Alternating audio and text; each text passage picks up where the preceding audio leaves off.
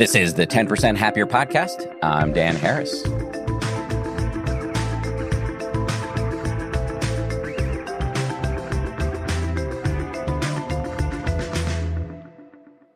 Hello, people. I've had a long running conversation, or maybe you could call it a good natured debate, much of which has actually played out on this very show, with my friend Gretchen Rubin. Gretchen, as you may know, is a mega best selling happiness expert who claims that she cannot meditate. And unlike most people who claim they cannot meditate, Gretchen has actually tried it many times. What's fascinating to me is that she has now written a whole book that is essentially, in my opinion, about mindfulness, although I'm not sure she would use that exact term. Anyway, the book is called Life in Five Senses How Exploring the Senses Got Me Out of My Head and Into the World. If you haven't read Gretchen's stuff or heard her on this show or on her own podcast, she is incredibly interesting. I've often called her the Swiss Army knife of happiness because she has so many techniques, both small and large, for improving your daily life. And she has spent years researching this stuff. In this conversation, we talk about what provoked Gretchen to explore her senses, how we often take our senses for granted, how our senses work with the brain to impact our perception, the relationship between the senses and nostalgia, the surprising power of ketchup and vanilla when it comes to the sense of taste, the sense of hearing and what Gretchen calls her audio apothecary, the interplay between the senses of taste and smell, the sense of touch and the use of comfort objects, why she decided to visit the Met, the famous museum in New York City, every day, and how she uses the five senses to boost her own creativity. A little bit more about Gretchen. She's the author of many, many books, including New York Times bestsellers with names such as Outer Order, Inner Calm, The Four Tendencies, Better Than Before, and her first huge book, The Happiness Project. Her books have sold more than 3.5 million copies around the world in more than 30 languages. She also hosts the top ranking award winning podcast, Happier, with Gretchen Rubin. I personally consider Gretchen to be both a friend and a mentor. She's helped me in countless ways since I started the precarious branching out from being an anchorman to an author. She's also been on this show many, many times, and we've posted those prior episodes in the show notes. Gretchen Rubin, welcome back to the show. I'm so happy to be talking to you, Dan. I love any chance to have a conversation with you. Likewise. Congratulations on your new book. Thank you. As you know, it's been a long time coming, so it's very exciting to have it going out in the world. I know. I feel like I can recall several lunches or dinners or walks that we've taken in which we've discussed this book. So uh, yes. I'm happy to see it out in the world as well. I would love if we could start with you telling me a story or the story of mm why the five senses? Well, one of my favorite things about myself is I'm sort of subject to epiphanies, and I had kind of a shock of an epiphany. I woke up one morning with pink eye, as one does, and uh, it was pretty bad. So I did end up going to the eye doctor, and he checked me out. He's like, Yeah, you've got pink eye. And then on my way out, very casually, like, Hey, remember to wear your seatbelt. He said, Hey, remember to come in for your checkup because, as you know, you're at much greater risk of losing your sight. No, I did not know that. What are you talking about? And he said, Well, you're very, very nearsighted, and that means that you're more at risk of having a detached retina. And if that happens, we want to find out right away. And I had a friend who just had lost a lot of his vision from a detached retina. So this was very real to me. So I walk out and, you know, this is not that unusual. You know, like a doctor gives you a warning based on some particularity of your makeup, your physical condition. But for some reason, it just hit me. And of course, intellectually, I always knew that at any point I could lose one of my senses. And of course, I could have a rich, meaningful, happy life if I did lose one of my senses. But it just made me realize I was taking it all for granted. I was walking home and it was like everything in my brain turned up to 11 and I just could see and hear and experience everything so vividly. And I thought, I have just been checked out. I've just been absent minded. I haven't been taking it in. And I realized that I'd been feeling that for a while, that something was missing. And that realization and that walk home made me realize that what was missing was just this intense engagement with my five senses. And so that's what led me to want to write the book. I'm going to ask the least surprising question ever I mean, you're going to be 0% surprised by this question.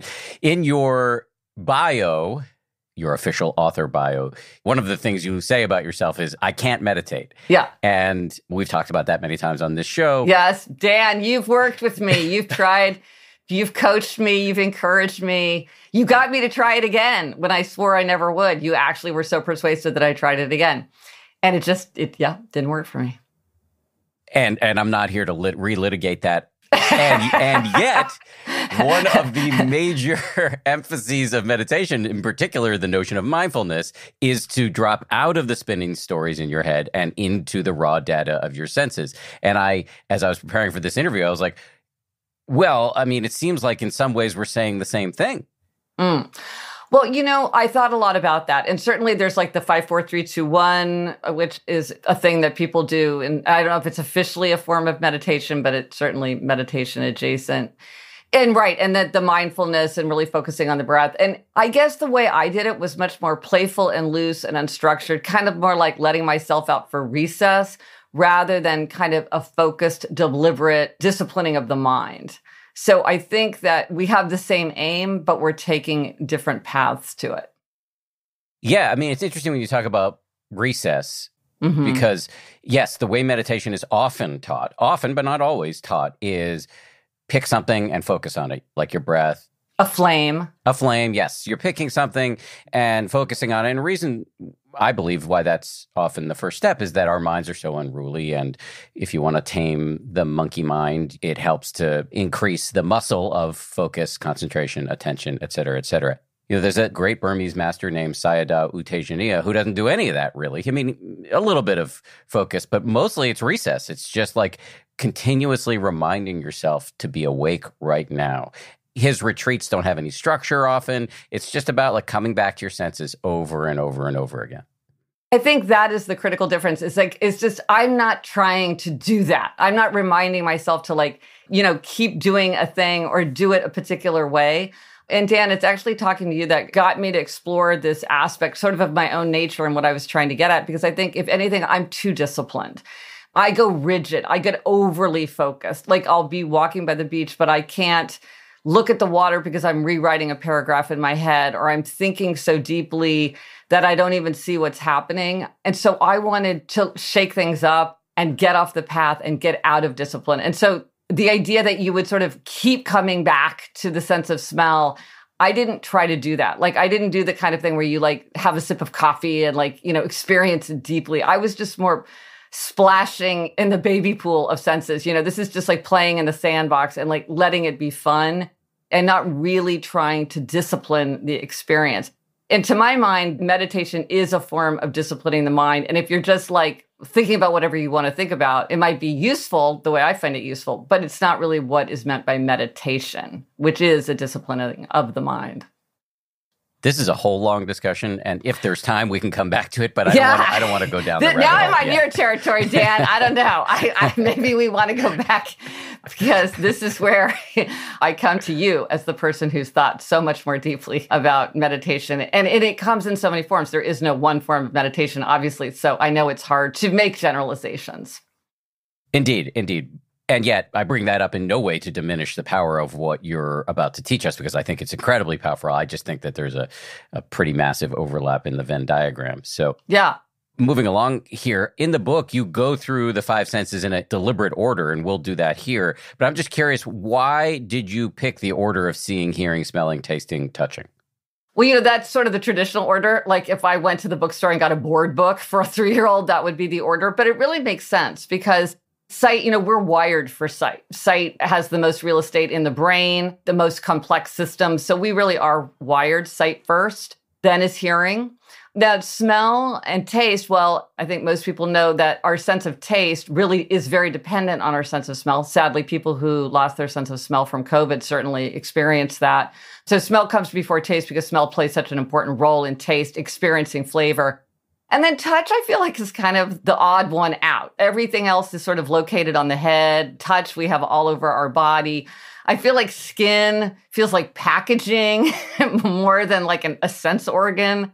And it's also like how far at a distance. So, sight and hearing allow us to experience things at a distance. Smell has to be closer in. Taste, that's right on the body. Touch, that's right on the body. So it's also like from far to near in the way that we experience them. So that felt like the kind of the intuitive way and also eh, kind of the intellectual way to order them as well. So let's start with seeing. What did you learn about sight? I love the sense of sight and and I had taken it for granted. One of the things that really surprised me is how much our brains tinker with the view. This is true of all the senses. You know, objectively, yes, we are not experiencing the reality of the world, that it's all being very processed, but realizing how much it is processed or how different everyone can experience the world really surprised me over and over. And the most famous example of this is the dress. Do you remember the dress, Dan? Did you see it as white and gold or black yes, and blue? Do you I saw it as black and blue. See, I saw it as white and gold this is the kind of thing where you think, oh, well, to the lay person, this was really surprising. But experts would say, of course, you know, everyone would expect this. No, their minds were blown by this, how there could be just a circuit split in how people perceived it. So that was one of the things that was really interesting to me about sight is how, you know, how differently we're all experiencing the world. My father, he was starting to get cataracts and he got them removed and he said everything looked so blue and that's true because cataracts make your vision kind of go slightly yellow. And so when he had the cataracts removed, his sense of color changed. It was so fascinating to realize. On page 26, you write, it's crucial to remember that our sensory world isn't everyone's sensory world. Yes, yes. I think that recently people have become much more aware of this, that people have sensory processing differences, that people might be very highly sensitive to something that you're like, this is totally fine. And someone else, it's really rubbing them the wrong way, or something that you're doing, it barely registers with someone else. And I, I think we all really do need to keep in mind that we want to create environments where everyone can thrive. And we have to remember that people really are, they're just picking up on different aspects of the environment, the sensory environment. We need to keep that in mind. So, what does that mean? Like, how would we tweak our environments to make allowances for this? Well, say like I'm a person who loves perfume, but I know now that a lot of people don't really want perfume. They don't want a lot of scent in their environment for one reason or another. So I wear perfume to bed at night now. But if I were going to a restaurant or something, I wouldn't wear perfume. Whereas I think 10 years ago I would have because I wasn't aware of that fact. You know, I think clothing now, I have a brand of clothing where the labels are printed right on the fabric instead of having a tag. And I think that's because many people are very bothered by tags. And Me. so it's like I am. okay. Right. So it's like a good manufacturer will say, like, okay, well, can we just get rid of the tag then? Why would we have this group of people who are really uncomfortable wearing this garment? It's like people have different preferences. They're coming from different places. We all live in different sensory worlds. So how can we work this out so we can all feel comfortable? I've mentioned this before on the show, but there's one sense that one auditory issue that drives me nuts, which is the sound of other people chewing. I don't mind like oh. cats or dogs chewing, but other humans chewing drives me nuts. Ah, yeah. I mean, that's hard because you can't say to them, like, please go into another room while you chew because, like, no, it's know. hard.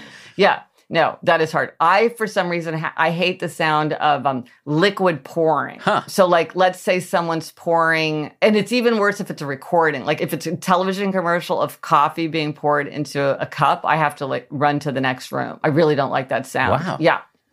I once spent some time in a in a Mexican city. The name of the city is escaping me. It's a port city, and they're famous for the way their waiters pour coffee. Mm. They like lift the pot all the way up, mm. like arms oh, left over yeah. their head. That oh, would drive you oh. nuts. Oh, it's giving me chills. but again, it's kind of fun to talk about these things. Just these little particularities. Same thing. There's polarizing taste. Like, how do you feel about sort of the anise black licorice family? Are you pro or con? I'm mildly pro. Okay. See, I, I can't, I don't like those. But then I like candy corn. Do you like candy corn? Yes. Okay. See, it turns out many people really do not like candy corn. Anything with the word candy in it, I like. Okay. Well, there you go. Sometimes it's just fun to realize we just have these quirks. And maybe if I know that you really just can't stand the sound of chewing, I will just try to be aware of that. You know, you want to let me know that in a nice way but I can try to be mindful of that, you know, in our daily life. So let's get back to seeing. What mm. is the McGurk effect? Okay, so the McGurk effect, I mentioned earlier that sight sort of has the most real estate in the brain.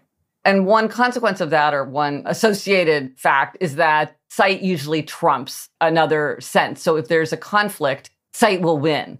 So the McGurk effect is this absolutely fascinating effect. I encourage anybody to go look it up online because you, you have to see it to see how powerful it is. Which is that if you're hearing something, like someone saying something that conflicts with the way their mouths are moving, your brain will adjust what you hear to match what you see rather than let your sight be out of sync with what you're hearing. And so if it's the, the, the versus buh, buh, buh, if you were looking at my mouth making those sounds, you would see they're very different shapes of what my mouth is doing. But you can just watch the video and the sound doesn't change. You know that the sound's not changing, but your brain will correct. And even if you know that what you're hearing is wrong, your brain will still tell you this incorrect information. It's absolutely fascinating. And, and, you see this in other ways too, where I see this with flowers because I love the smell of flowers, but in a lot of flowers, the smell has been bred out because most people pay more attention to how flowers look. And so they will choose flowers that look better over flowers that smell better. Mm-hmm. And, and creating a beautiful fragrance is costly for plants. And so to get a more beautiful blossom, they'll breed out some of the fragrance just because people tend to choose by their eyes rather than by their nose, even though I personally would go more for the strong smell. And same thing kind of with tomatoes. A lot of times people say, well, tomatoes don't taste that good. They look good, but they don't taste as good. That is true. I hadn't thought about that before. we will choose things based on how they how they look. Yeah. One of the points you make, and you've you've already kind of referenced this, is is how many modulations the brain is making that impact our perception. Just to quote you here, I was surprised to learn that although we think we're gazing clear eyed on the world, in fact, our brains are always tinkering with mm-hmm. the view. Yeah. Well, here's an example. You used to live in New York City, so I'm sure you'll you'll identify with this. So I was doing an interview with someone in my apartment and she's recording it. And then all of a sudden she stops and she says, "Okay, let's wait." I was like, "Why?"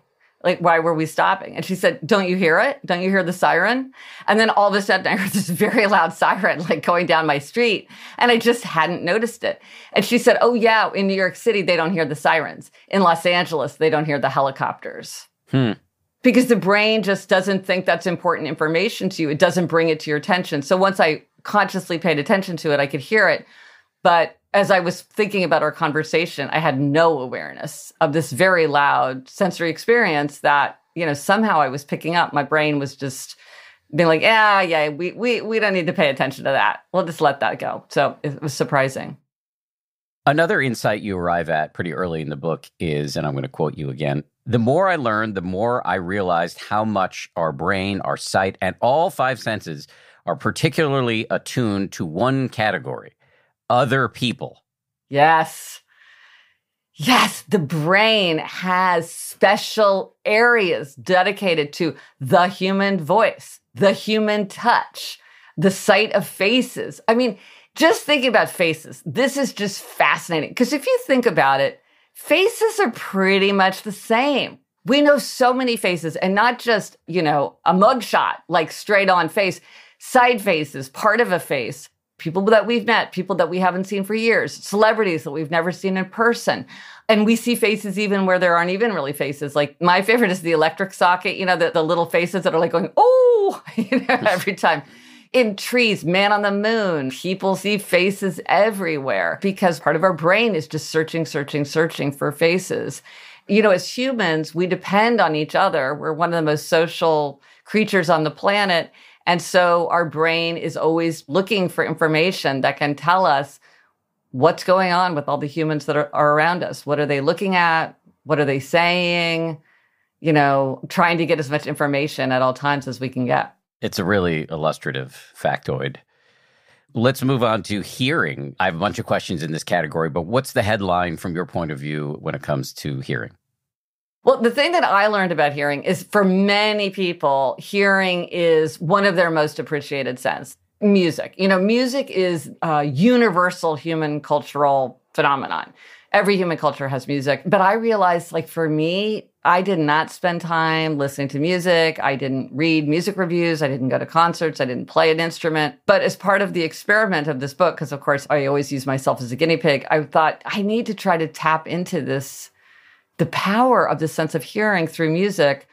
And I realized something really important about myself because one of the things that surprised me was how little I knew about my own preferences when I started this.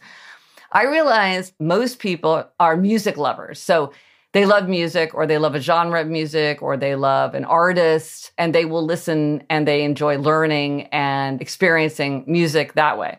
And I realized that I'm a song lover. And I've talked to other people now who are also song lovers, which is like, I like the one song. I won't listen to an album because I just like the one song. And I will love a song by one artist, but that doesn't make me want to go listen to more songs by that artist. I just want to listen to the one song. And I used to think that that was kind of the wrong way to appreciate music. I always felt like it wasn't legitimate and that I should push myself. But now I realize this is the way that I love music. I should just celebrate the songs that I love, try to identify more songs that I love, but not feel bad about the fact that I'm not listening to album after album, you know, from a different artist or in a different genre. Well, I totally agree with you. I mean, I'm a long time music head personally, but there are albums I love start to finish, but generally I pick a few songs and put them on a heavy rotation. And I don't think there's a wrong way to do this. Well, see, that's the thing. There is no wrong way. And why was I castigating myself for feeling like somehow my way wasn't the right way? But wait, Dan, do I remember that you were somebody who once a week you would treat yourself to listening to new music? Yes, I think when we had this conversation, Tuesday was new music release day. That has switched to Friday, but Friday mornings are always a, a delight for me because I wake up and the first thing I do is see what new records have come out. I've cited that example before because I think one of the ways we can tune into our five senses, you know, to be happier is to find healthy treats for ourselves. And often when we want to treat, we reach for something unhealthy, like, you know, an impulse purchase or some kind of junk food or, you know, binge scrolling. And so it's really good to have healthy treats. And I think if you love music, a great healthy treat is like, let me listen to some new music because it's something that would not be a treat for me because that's not the way I like to experience music. But for someone who likes to explore and really wants to cultivate that sense, that's a great treat. And so you can add that to your list of healthy treats through your five senses. Because I think many people might not think, like, oh, I should just make a little ritual out of it. And every Friday, like something that I can anticipate and know that I can plug into that when I need a little bit of extra energy or cheer. But it's not for everyone because not everybody would find that to be a treat because people are always talking about self care. You know, what do we do for self care? It's like, well, one of the things you can do is you can turn to your five senses. Coming up, Gretchen talks about the sense of hearing and what she calls her audio apothecary. She'll also talk about her manifesto for listening, how to be a better listener, and the interplay between your sense of taste and your sense of smell.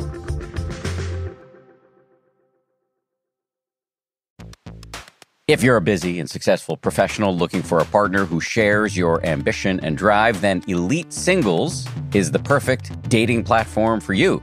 Stop wasting your precious time on people who don't share your values and on apps geared toward casual dating.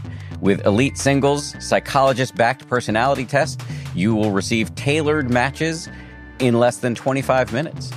To help millions of like minded singles enjoy a secure dating experience, their team performs regular safety checks and they're on hand if you experience any issues. Sign up at elitesingles.com slash happier, complete your personality test, and start making meaningful connections with people that get you don't wait any longer. Download the Elite Singles app on the App Store or on Google Play or visit elitesingles.com slash happier today.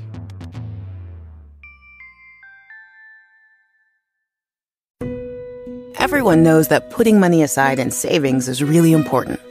But then what? Should you keep your savings locked in a CD for a higher rate or keep them liquid in a money market? Can your checking account help you save too? Or is it about creating the right combination? We believe real banking is a conversation. Let's talk about the savings options that are right for you. Learn more at sandyspringbank.com. Member FDIC. What is an audio apothecary? Oh, well, that's exactly what I'm talking about. Because, you know, songs put you in a mood. If you want to like give yourself a quick lift, put yourself in like a meditative, thoughtful mood, one of the easiest ways to intervene in your mood is to listen to music. And so I thought a lot of the songs, because I'm a song lover, the songs that I love are kind of melancholy, contemplative songs, which I love, but they definitely put me in that mood. And sometimes I don't want to be in that mood. you know, maybe I'm feeling a little melancholy already. I want to counter program. So I created the audio apothecary. So this was like something that I could use to give myself a lift. So these are all really happy, upbeat, high energy songs so that if I feel like I'm dragging, I can listen to one of the songs. I try not to wear them out because you can wear out a song. If you listen to Mule Skinner Blues by Dolly Parton, you will just be so happy. It will change your mood. And it's on Spotify. If anybody wants to listen to it, they can. But I think it's a really fun, creative thing to do to have playlists by by mood that you're trying to invoke. Yeah, I do that too. And we'll put links to Gretchen's audio apothecary in the show notes here. You also have something called your manifesto for listening. What what's that? Well, one of the things that I realized was that I needed to work on my listening, especially with my husband, Jamie. I wanted to do a better job of listening because one of the most important things that we do with our sense of hearing is to listen to other people and I love a manifesto. Anything that's important to me, I make a manifesto or I make my true rules or my personal commandments. I like that process of synthesizing things and trying to crystallize them. So I made this manifesto so I could print it out, put it on my cork board, see it every day to remind me of things. Like one of the most important ones is when someone's ready to talk, I'm ready to listen. And not just by sort of being like looking at them while they talk, but really like putting down my book putting down the newspaper, putting down my phone, turning my body to them, giving them my full attention, not interrupting. One of the things that I realize I do when I'm listening is I will rush in with books that somebody should read. Like somebody's giving me a really vulnerable conversation about something really big that's happening, like they're going to get a divorce or something. I immediately am like, here's the five books you need to read. It's like, okay, just be quiet. Like they haven't asked you for a reading list. Just listen. So it's me going through and identifying all the things that will help me to be a more effective listener with my sense of hearing. Thich Nhat Hanh, the great Zen master, has said that another word for love would be understanding. Right. And how do you understand if you don't listen? Yeah, exactly. And how do you listen if you don't get out of your head? Right. Well, and it's funny because first I thought I was the first person to notice this, which of course I was not. But the, you know, the word listen is just silent rearranged. which seems very meaningful. yeah. Yeah. How do you understand if you don't listen? But you can be silent and not really listening because you're just stuck in your own stories. And this gets to the idea of training the attention. Absolutely. To really, really listen and to really hear what somebody's trying to say. Well, part of listening is hearing what somebody's not saying. And to me, that is very difficult. I think some people are very gifted this way, where it's like, what is the person not saying or what are they skipping or how are they redirecting a conversation one of the things i realized about myself is that it's hard for me to be in a painful conversation. And sometimes even before i realized it i have started to steer the conversation onto safer territory. And so one thing i've really been working on is if somebody's bringing up something like to just allow myself to be uncomfortable and uneasy. And if I don't know what to say, to just stay silent and just listen and just try to stay with the conversation. Because looking back, I realized that I would often just quickly get us somewhere where I felt on more solid ground. And that's not good. I wanted to be a good listener for people who were trying to confide in me instead of making it harder for them by trying to change the conversation. So that's a big thing I've been working on. It's very normal. Uh, you said it's not good, but I think it's not unusual either. I'm about to say something that I'm sensitive to the fact that longtime listeners to this show will have heard me talk about this before, but I think it bears repeating, very much bears repeating. Have you heard of, and I'm saying this because you're talking about listening and also training the attention. Have you heard of something called reflective listening? Uh, yes, absolutely. And I think that can be very, very helpful. And I try to do that too. I feel like sometimes it can seem a little forced or maybe kind of in the hands of an amateur like me, but I think it's very helpful to think about it. Yeah. You're absolutely right. Any tool can come across as, you know, programmed if you do it um, unskillfully, for sure, especially at the beginning. But what I like about it, and just to say what it is for people who might not know, it's somebody saying something to you and you just repeat back the nut, the nugget, the core of what they just told you in your own words, which demonstrates to them that you understood, which again is a deep human need. And one of the things that's really powerful is if you get it wrong, then they can correct you, which actually people don't mind. They like, they want to correct you. That's one of the things that I did realize after trying it is that it's okay to get it wrong. Like if you say, oh, you must have been really frustrated, then they're like, no, I was disappointed. Then they actually like that because it, now you've reached better understanding. Yes, 100%. And where I was going with this was that forcing myself to prepare to reflect forced me to listen. Then I also really am keyed in on not doing it in a way that seems overly programmed. So getting creative about not having a tee up phrase like what i heard you say there was or so that people don't feel like they're being you know techniqued that's not a word but you, somebody's using a technique on them and, and i really like one little game i play is how many times in the course of a conversation can i provoke the other person to say the word exactly. Ooh, yeah, exactly. but I'm glad to hear that you you worry about sounding kind of programmed too, because I thought that maybe that was just sort of my hesitation about it. But maybe it's good to know that this is just something that you have to think. Well, this is a creative process. That's one of the challenges of doing it effectively, is making sure that the person knows that you're authentically hearing them. It's not some just kind of mad libs that you're playing in your head. Absolutely. It's so important. You really have to practice and and so for a while you're not going to be good at it and sometimes I'm not good at it, but the delight even if it's subconscious among other human beings who you might talk to when they're seen and heard and understood in this way is just that in and of itself becomes addictive and you know i could really see you know i was a bad listener for much of my life and got a lot of negative feedback around that. And when I got my second 360 review, where I asked people in my life to give me feedback, the second one, after a really bad one, the second one was very positive. And one of the things people cited over and over and over again, and my wife talks about this, is the reflective listening. I'm not trying to fix anything, I'm just reflecting back to you what you said. Can you give an example? Because it's very hard to change. It's such a deeply rooted pattern of behavior. Yeah. So my wife was bringing me a concern of hers today. Actually, this happened over text. She was worried about something. She's writing a book and she read something recently that made her feel like she didn't have anything original to say or she didn't have the style to say it well.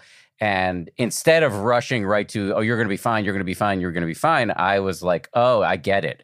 That's totally destabilizing for you because it makes you think you can't live up to it. Mm-hmm. And she felt like, yeah, this guy is validating my feelings. It's like that great scene in Parks and Rec, one of my favorite TV shows. Rob Lowe's character is a very genial, overly genial character. And at one point, he impregnates his girlfriend, who's played by Rashida Jones. She's complaining about pregnancy, which is a very legitimate thing to do. And he keeps trying to fix all the problems, and she just hates him for it. And finally, somebody takes Rob Lowe aside and says, All you need to do is say, That sucks. Right. Yes. That's not quite reflective listening, but it is giving people permission to feel the way they feel, to feel understood in the way they feel. Yeah. Well, one of my very favorite parenting books of all time is How to Talk So Kids Will Listen and Listen So Kids Will Talk. And everything in it is just, I mean, it's true for talking to a three year old and it's true for talking to an 80 year old because they're just human truths. And one of them is don't deny the reality of other people's feelings. And I think that's related to this, which is if somebody's saying to you, I'm feeling really discouraged and really threatened because now I feel like, how can I possibly write this book? Don't deny the reality of that feeling and say, wow. And it's funny how I think our instinct is like, the glass is half full or you're amazing, and thinking that that would be really comforting, but it just isn't often. There is a thing that Brene Brown said on the show that I've quoted many times subsequently right here on the show. So I'm sorry for being repetitive, but she was talking about when her kids came to her with a problem she would often say, "Well, I can't fix the problem, but I can sit in the dark with you," and that that really resonated with me. That that we have this impulse to fix, but that's not actually what people want often. Hmm. Yeah, I mean, and now like my reading recommendations, now I've learned to say to somebody like, well, you know, I'm thinking of some books that I've read that I think you might find really useful. So if you want me to send you some titles, I will. Or if you're interested, I'll I'll follow up. And often people do, but I think they feel better when I asked if they want it rather than me using it as a dodge, again, to get on safer territory of something that feels very sensitive or feeling like they have to listen to me go through a bibliography when they're not ready for it and letting somebody just stay where they are. Yes. Okay, next sense is smelling. There's a connection between smell and a sense that we're going to talk about soon, which is tasting. What is that interplay? Arguably there are five basic tastes, though now scientists are thinking maybe there are more tastes, but you know, sweet, salty, sour, bitter, umami. And with taste, that's pretty much what you taste. But what smell does is smell gives you flavor. And a really fun way to try this is if you taste something like a jelly belly, plug your nose, put a jelly belly in your mouth, and you will taste sweet. It will taste very, very sweet. And then when you unplug your nose, all of a sudden it will sort of burst into a distinctive flavor. So you'll taste cherry or you'll taste coconut or you'll taste blueberry or whatever it is. But without the sense of smell, you just get that like very, very basic. And this, of course, it, you know, in the West, smell was often seen as kind of like an add on sense and didn't really matter, even though research shows that people who lose their sense of smell are very, very affected by it. But sadly, because of COVID, this was something where many, many people became much more aware of the power of their sense of smell, how it affected their flavor, yeah, and their experience of food, but even just their experience of life. I mean, I have a friend who lost her sense of smell. Fortunately, it was just it wasn't for very long, and she said how she felt very claustrophobic. She felt like she couldn't get fresh air in her face, and it felt stale because there was no change in smell. I know somebody who still hasn't recovered her sense of smell. She has like 24% now, but she says she can't smell people. She can't smell any human smells. And she said it's just, you feel like you're not connected because it's very easy to take it for granted. And yet it adds so much to our experience of everyday life. I've become much, much more attuned to just the subtle variations in smell as I move through my day. That's one of my favorite consequences of having worked on life in five senses is that. There are times as the father of a very sweaty eight year old boy where I wish I didn't smell him that much. Um, but I do hear you. But you know, I have to say, I enjoy even bad smells more now because they they kind of give depth to experience. You know, hmm. yeah, I have a much bigger tolerance for like garbage day. you know. So one of the things you talk about in the book is that smell, and I think we all know this, but I'm curious what the mechanism here is. Smell can often produce nostalgia or even make us sad. Mm-hmm. Well, it's interesting because some people sort of give special power to smell to bring back memories, which really all of the senses bring back memories. I mean, seeing the wallpaper from your childhood kitchen, listening to your favorite song from high school, eating your grandmother's, you know, turkey tetrazzini, whatever, all the all these all bring back memories. And so I was trying to think, well, why do people feel like smell has a special power, given that they all are very powerful nostalgia inducers? And maybe it's because with smell, we don't always expect it. You know, with smell, it's sort of you don't see it coming, it's invisible. And so all of a sudden, you know, the breeze wafts over you and you're transported to summer camp. I had an experience where I walked into an office building and they had a like a water feature in the lobby which instantly took me to my childhood library which had sort of a similar water feature and it has a very distinctive smell so maybe it's because it's unexpected. That's why it seems very, very powerful because we're not aware of it. And it is evanescent. You know, that's one of the things that is very precious about the sense of smell is, you know, you can only experience it right here, right now, unless it's a scratch and sniff. And you can't keep smelling it because, you know, you'll get odor fatigue and you won't smell it again unless you go away and come back. So I think that's part of why it does feel like it taps into some very primal body of memories. Andy Warhol had this thing where he would tie a, a, particular perfume to a time of his life so that he could use it as a way to bring back a particular time through smell. Food is often talked about as something that can evoke the past. I mean, Proust wrote about Madeleines, those little cookies, bringing him back to his childhood.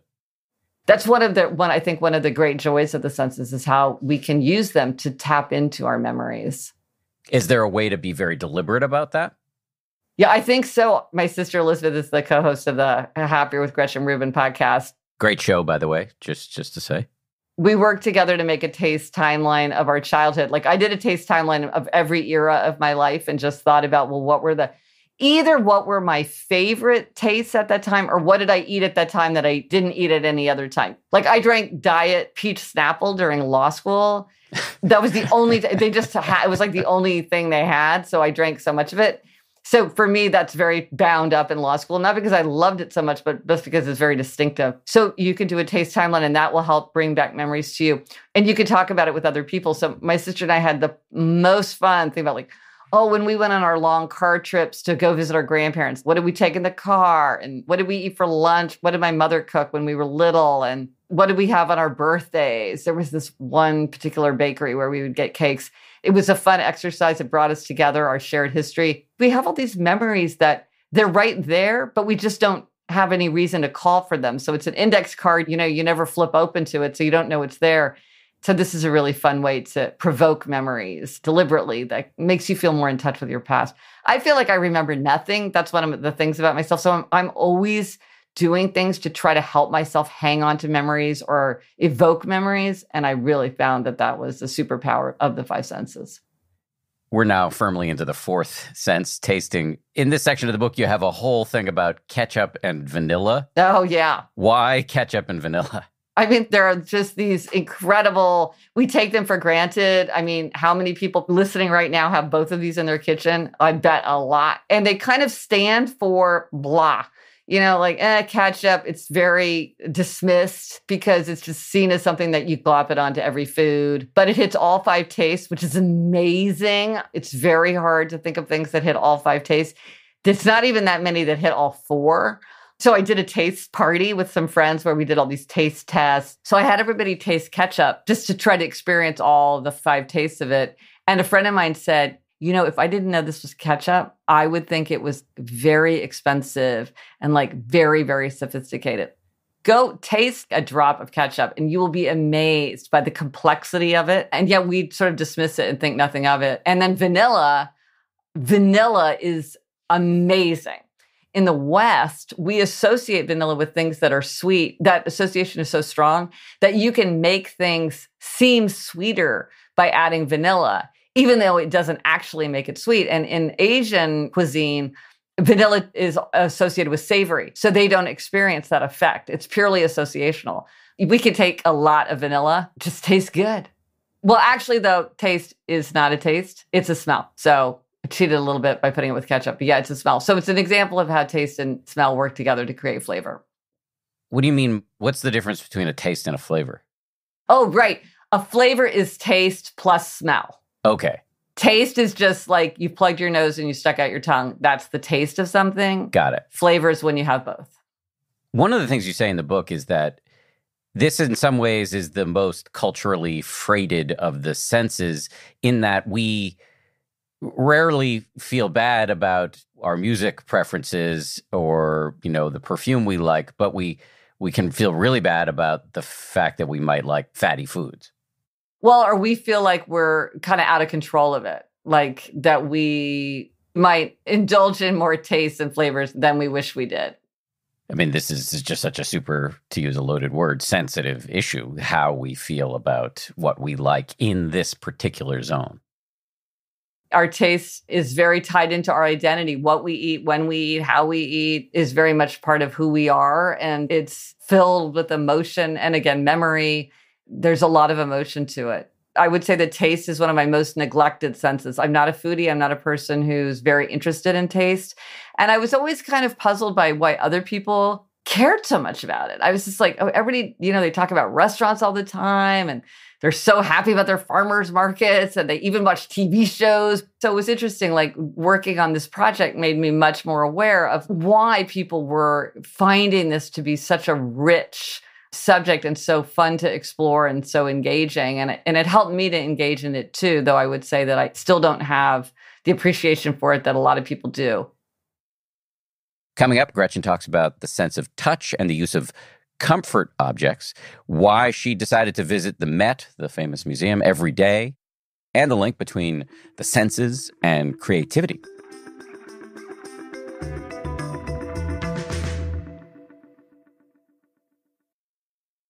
The fifth sense, and we should say in the East, they believe there are six senses. We can talk about that in a second. Yeah. And scientists say, oh, maybe there's 33, maybe there's 35. Absolutely. There's all kinds of sense. I respect those senses. They're fascinating, they're vital to our functioning, but they kind of lack the glamour of the big five. And we're not as consciously aware of them. So that's why I picked the big five. But yes, you could say there are many different numbers of senses. Although in the East, the sixth sense is the mind, which is, I would say, not unglamorous. Mm-hmm. Right. But talking about the mind is different than talking about the nose. Yes, that's true. It's harder to pin down. So the fifth sense is in this schema is touching. Is it true that you kind of came to the conclusion that this would be the sense that would be the hardest to live without? There are people who do not experience pain, but it is something where you just feel like, what would that even be like not to experience touch? Because it just feels like it's the way of experiencing reality. It feels very different from the other four senses to me. One of the things you talk about is that the sense of touch can help us manage anxiety. How so? Well, I think a lot of people have started using this with things like fidget spinners, pop toys, where you put something in your hands and that helps calm you. The activity of your hands help to calm you. I certainly found that myself. One thing that I also found was that I read a like a celebrity memoir of Andrew McCarthy, you know, who's one of the Brat Packs. And he was talking about how when he was doing a scene for a movie, he used a pair of bongos. He just sort of brought that in as a prop, and it really helped him with a very challenging performance. And then I was starting to talk to people, and I realized a lot of people do this. They will hold a prop as a way to kind of ground themselves and comfort themselves when they're feeling stressed, especially if it's kind of performance related. So, teachers would talk about holding a mug of coffee, or uh, someone said that she would hold a clipboard and I realized in my own life, you have these things that you don't notice that you do. I just will hold a pen, even like at a cocktail party or a situation where I don't even have any paper. Why do I have a pen in my hand? And yet I realize I just, I just feel better when I have a pen in my hand. It's something about, it just makes me feel comforted. And so now I can do that deliberately because I've noticed that about myself. I used to hold a pen when I was anchoring the news. Did you? And do you think for the same reason? Yeah. Yeah. I wonder if it's the same impulse with, you know, children with teddy bears and blankies. I think it is. And maybe because for us, that is our comfort object. We feel like in the end, what we want to be able to do is write something down so, so we know we just have that to grab onto. But now I will definitely, if I'm in a situation where I feel like I'm going to be a little uneasy or a little uncomfortable, I'll have a pen in my hand and then I slip it into my pocket if I find that I, you know, it's getting in my way. But I do find that that's really helpful. I remember somebody saying to me that she thought that if they'd had phones when she was in high school, she would never have started smoking. Hmm. She smoked for like 20 years, very, very hard for her to quit. And she said she didn't even want to start smoking. It was just that she was sort of socially awkward in high school and it was something to do with her hands. And so she didn't look like she was just standing there by herself. It kind of gave her something to do. And so she did it and then she got hooked. And she said, Oh, if I could have just been like fussing with my phone, I would never have reached for cigarettes.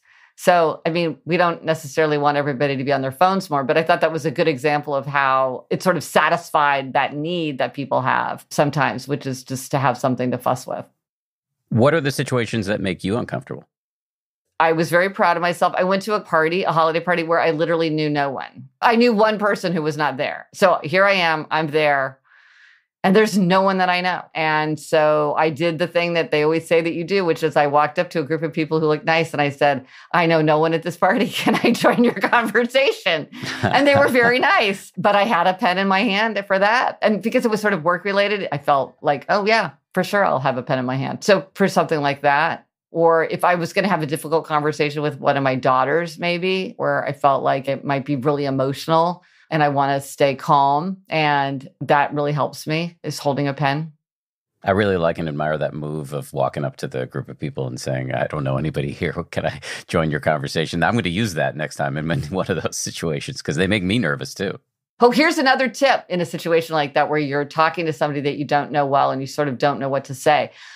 One thing to do is to always comment on a sensory experience that both of you are experiencing at the same time. So, are any of the hors d'oeuvres particularly good? Oh, the art in here is very interesting. This is why people reach for the weather as a kind of a, a default conversation because it's something that we've both experienced. Just a very straightforward, platitudinous observation will often kind of get the wheels turning of a conversation. Indeed. Let me just go back to touch being useful in managing anxiety. There's this pretty interesting body of research that shows that in a lab setting, if somebody's about to be delivered some sort of mildly painful shock, if they're holding hands with some a loved one, they report a decreased experience of pain. There's also a bunch of work that's been done around sports teams that touch each other more often, like basketball teams, and they perform better. So is that something you've looked at or have thoughts about? Yes, and that's definitely true, and especially for newborn babies, touch is essential. And appropriate touch helps people manage pain, anxiety, makes people feel closer together. Yeah, the sports research is very, very interesting. In her memoir, Everything Happens, Kate Bowler, which is a wonderful memoir, Kate Bowler describes it was like four in the morning. She was in the hospital with a cancer treatment. The doctor came in to give her some really bad news. And she said she could just see he didn't want to be the guy that had to be the one to deliver this news. But there he was saying it to her. And she said, Try again. If you're going to say something like that, you need to be holding my hand. And I just thought that was so beautiful. You know what I mean? Sometimes you just need someone to be holding your hand.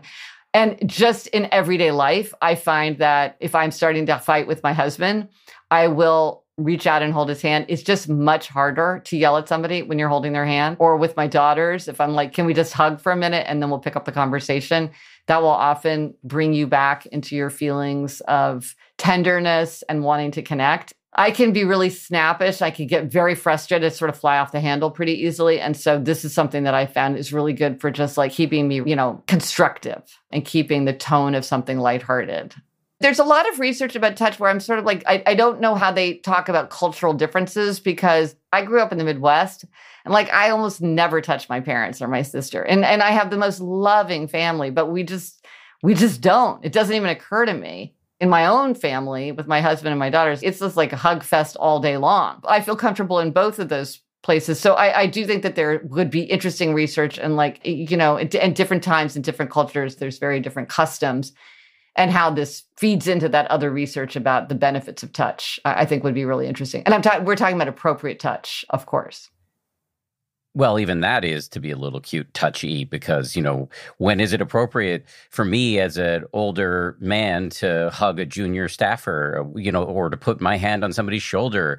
Where are the lines, given that we know that this is a powerful way to put people at ease? Right. Well, it's powerful. And because it's powerful, it can be very threatening as well and uncomfortable. And, you know, even things like how close do you stand to somebody when you're talking to them? Like all of these things, they're very culturally fraught and they're individually fraught. So they're complicated because they are powerful.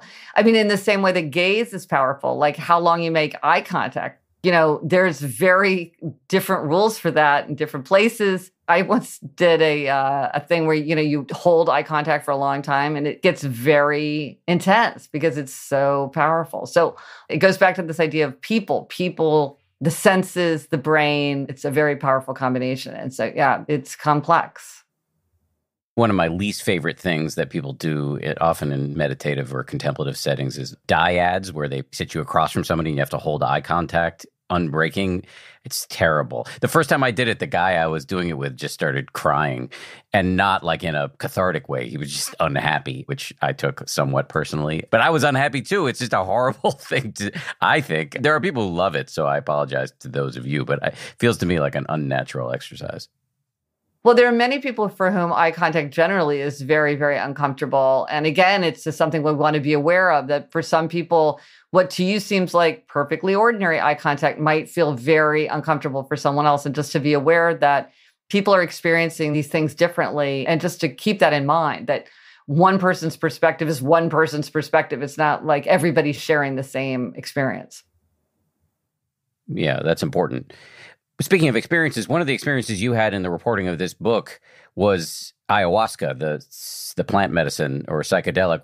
How does that fit into the senses? And if I'm remembering this correctly, I think you said that it was perhaps the most powerful thing you did. No, it was not. oh, was not. Okay. Okay. No, good.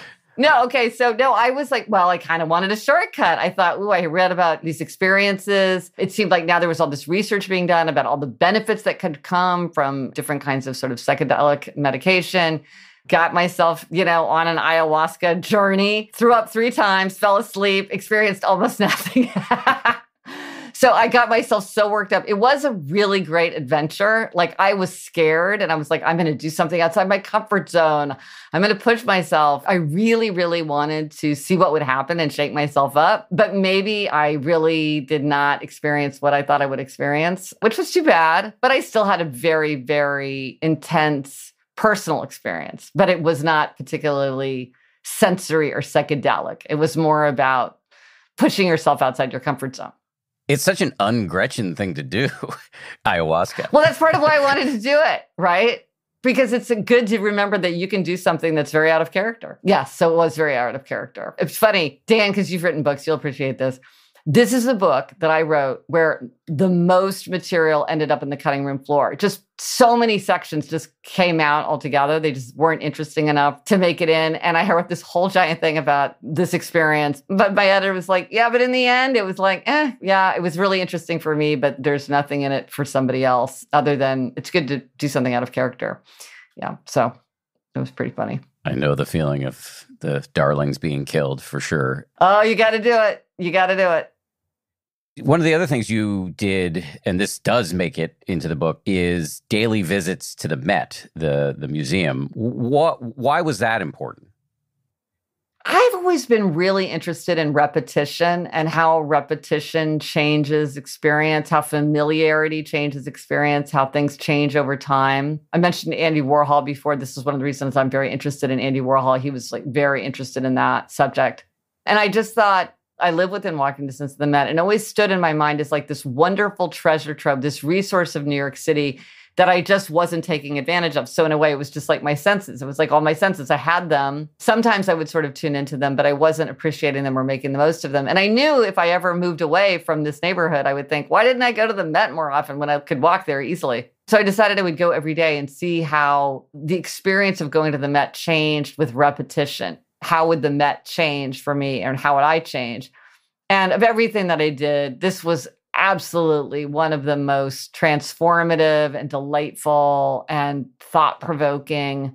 I mean, I said I would do it for a year. I've been doing it for so much longer than a year. I'll probably do it for the rest of my life. And it's funny because I thought when I did, I thought, oh, this is very idiosyncratic. Nobody would want to do something like this. But I've talked to a lot of people who do things like this with different places, like maybe it's a public garden a cemetery. I know somebody said he goes to a CVS every day because there is something special about going every day, or a lot of people who would like to do it, like that they understand why that would be an appealing thing to do. I mean, literally every day you don't, you know, when you go on vacation, you can't go. No, if I'm in New York City and it's open. So, like, it's closed on Wednesday, so I don't go on Wednesday. For how long? Sometimes I go if it's like I don't have much time. I just go there, kind of go in, walk through the grand hall, and walk out. And the, even that is interesting. Like, what is it like to visit a place like that so briefly? Usually, I go for at least a half an hour. Why is it that it was so transformative? And maybe this is how you feel about meditation, Dan. I feel like the minute I walk through the doors, my mind just opens up and just kind of spreads out. I just feel like all my usual daily cares are kind of left behind. I don't make myself leave them behind. If I want to think about them, I do. I don't try to direct my thoughts. And I just have this kind of like rambling, associational frame of mind. And a lot of times I'll give myself a funny little assignment. Like if I'm reading a book and they mention something that's at the Met, I'll go look for it. Or if they mention a historical figure, I'll go see if there's a representation of it in the Met. Like when I read Circe, Madeline Miller's book. I was like, I'll go look for representation or or Memoirs of Hadrian. I'm like, I'll go look for representations of Hadrian or for President's Day. I'm like, how many presidents are in the Met? You know, funny little things like that. Or I'll just there'll be a new exhibit. I'll go look at that, or I'll go back to some of my favorite things, or I'll just wander around. And so I just feel like I was able to drop into that frame of mind by physically doing it. And of course, I'm walking. There's all kinds of beneficial things that happen to us when we're walking. I'm spending time outside while I'm walking to the Met and home from the Met. That's good for me too. The Met is full of all of these artifacts of culture and history. So it's full of ideas. So it's sort of the perfect environment for me to just get out of my head and into the world. How many years has it been since the fateful doctor's appointment? That's a great question. I should look it up. You know, because of COVID, there's been so much time collapse. I'll have to like go back and figure that out. Isn't that funny? That's such an obvious question. And I don't know. I didn't mean it for it to be a quiz. I was just trying to get a sense of what has the cumulative impact over these several years, X number of years, been for you of tuning into the senses instead of being stuck in the head? It has really changed the quality of my life. I mean, I have been studying happiness for more than a decade. So I have dozens and dozens of happiness project resolutions that I follow.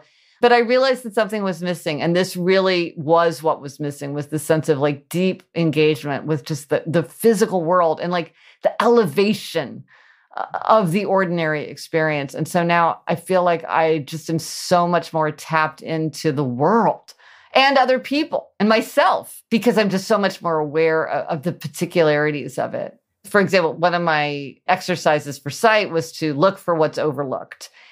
And I noticed with Jamie, you know, you see somebody and what's ordinary is what is the most easy to ignore. And I thought, oh, you know, let me really look at him.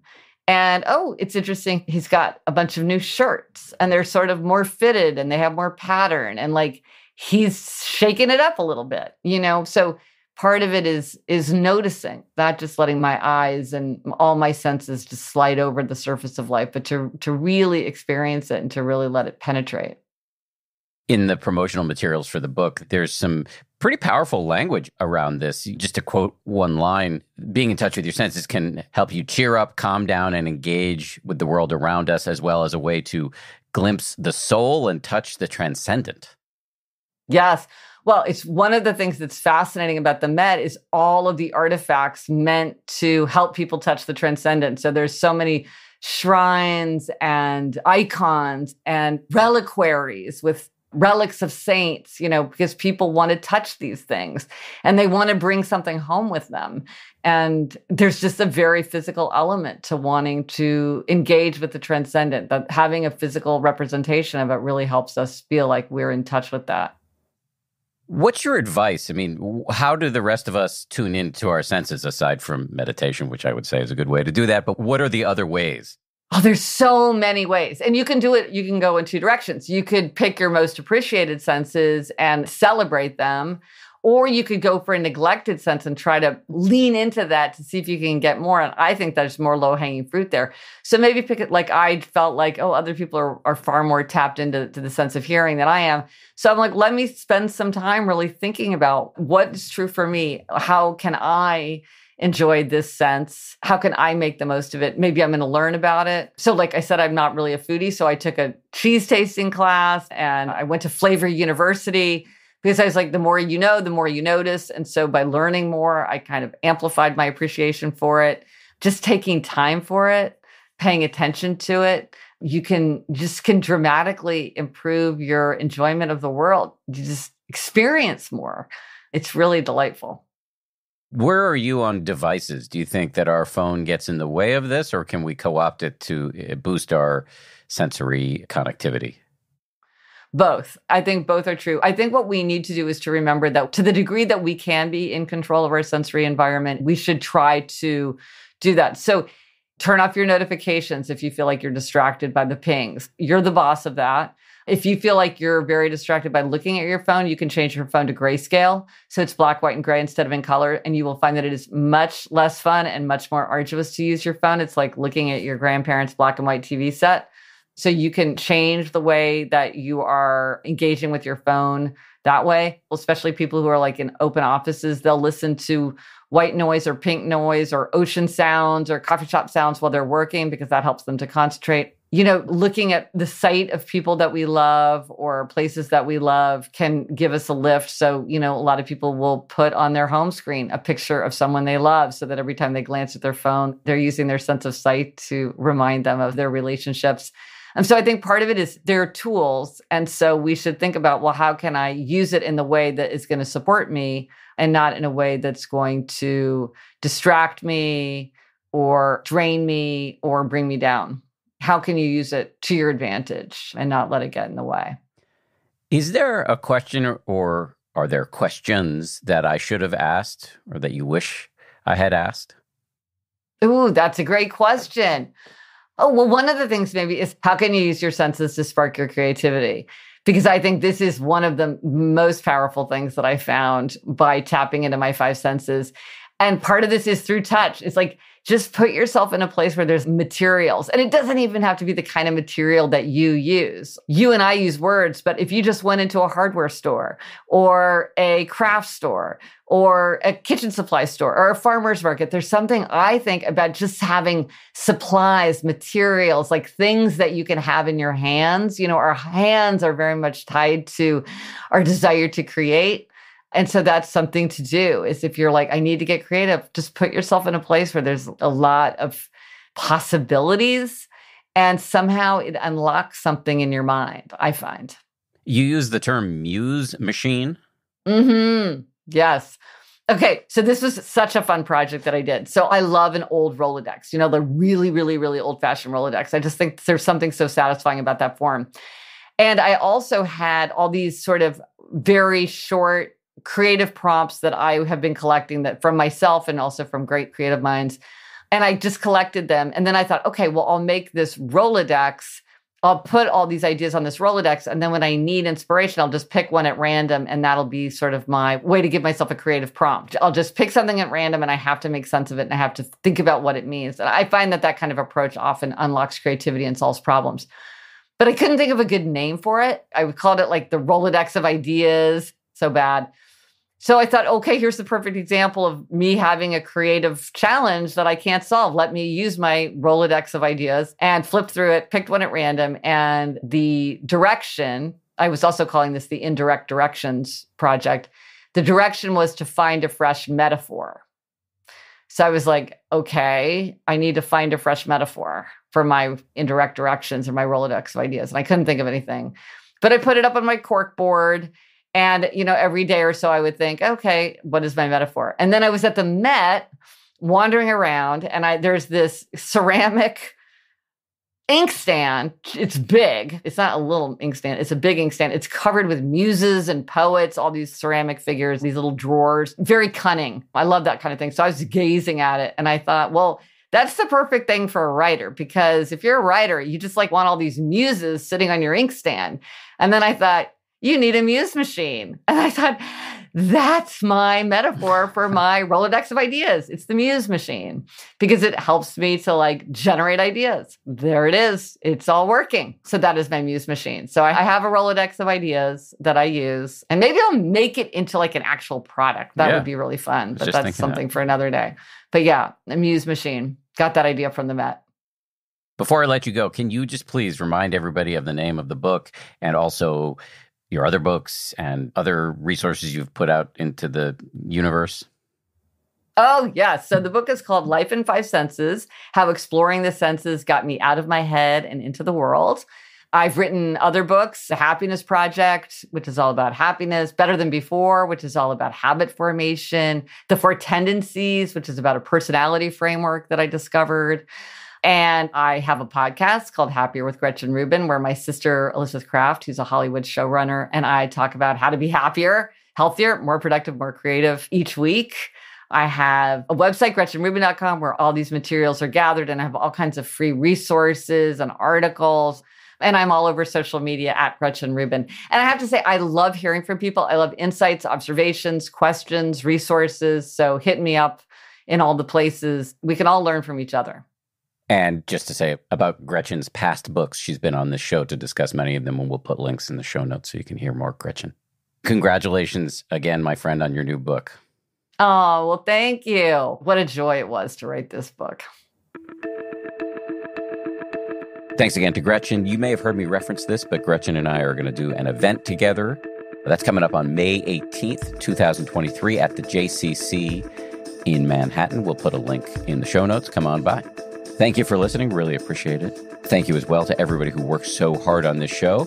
10% Happier is produced by Justine Davey, Gabrielle Zuckerman, DJ Cashmere, Lauren Smith, and Tara Anderson. Our senior editor is Marissa Schneiderman, and Kimmy Regler is our managing producer. Scoring and mixing by Peter Bonaventure of Ultraviolet Audio and Nick Thorburn of the great rock band Islands wrote our theme. We'll see you all on Wednesday for a brand new episode with the great George Mumford, meditation teacher, performance coach, guy who taught Michael Jordan and Kobe how to meditate. Love having George on. He's got a new book out. We'll talk about that on Wednesday.